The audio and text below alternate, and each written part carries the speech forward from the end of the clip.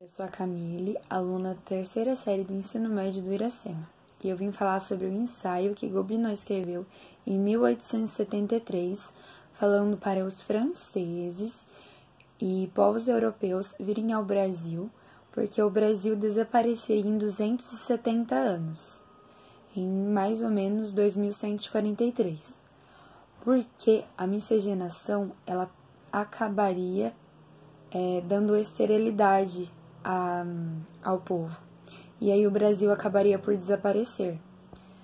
É, atualmente a gente sabe que isso não vai acontecer. A miscigenação ela não causa esterilidade, então a opinião de Gobineau, que foi feita baseada em ideias racistas, ela não se concretizaria.